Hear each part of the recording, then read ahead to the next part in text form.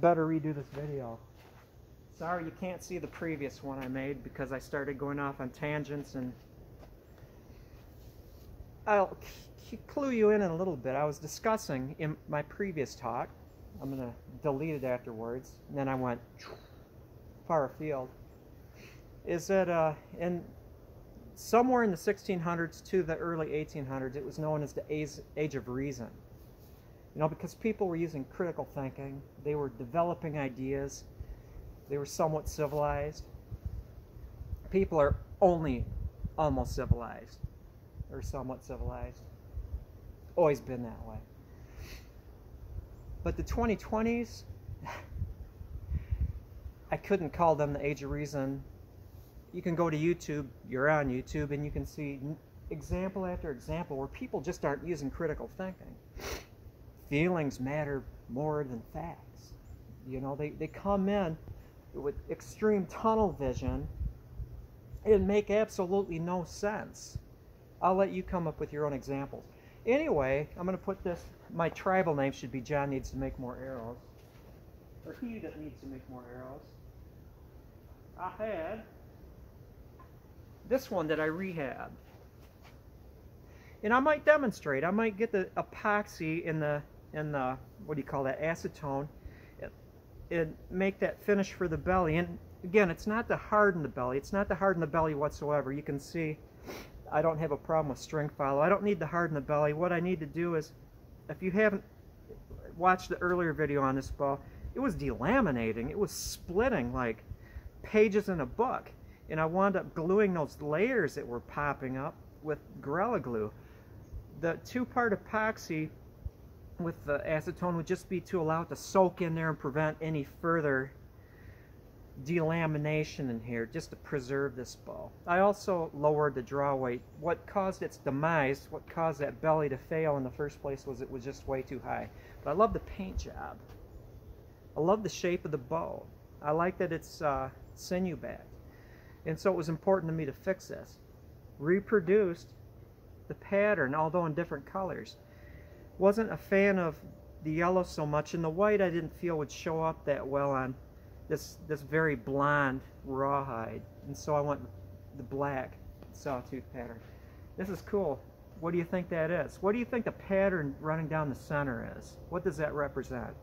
I'll let you come up with that. Next up, put that there. Grab my arrow.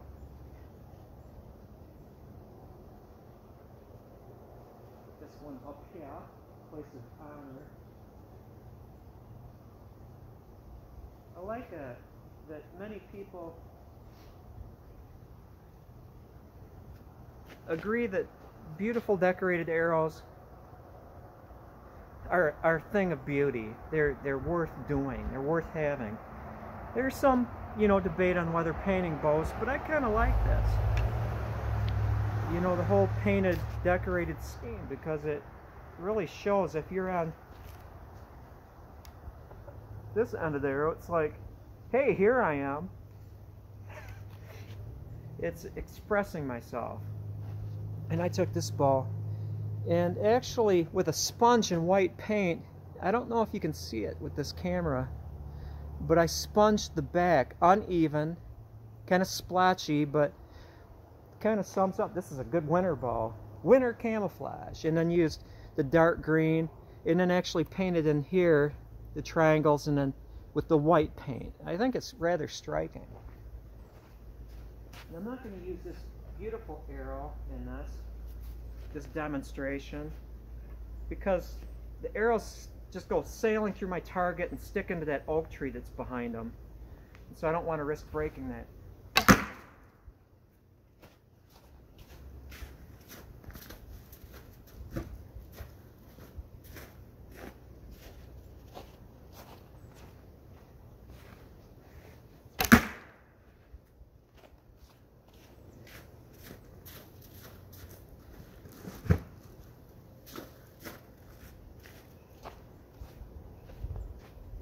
wonder if I duck down, can you see me?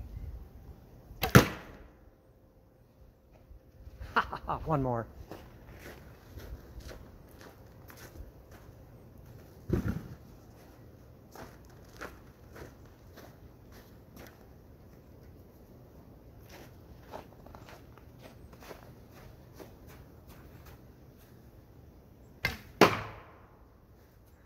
Miss that one. Oh well. That is all. Now I need to redeem myself. One more.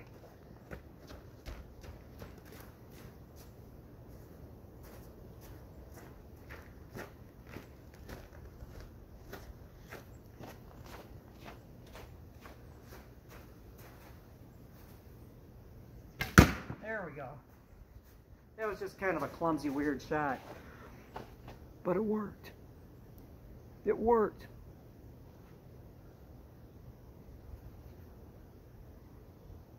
Oh, not thrower. That's what I meant.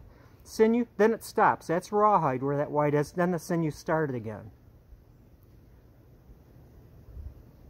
Pretty ball. Pretty ball. Have a good one. Thank you for watching.